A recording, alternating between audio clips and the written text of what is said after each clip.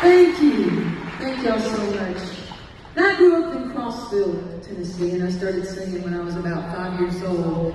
Singing in churches and singing gospel music. And I'd like to sing a song for you. It's a, a beautiful old classic written by Mosie Lister.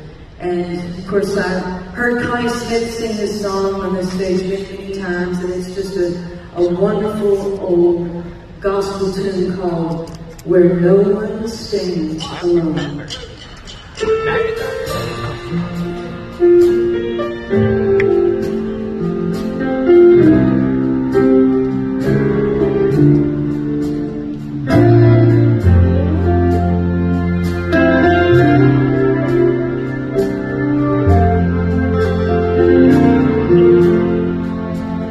Once I stood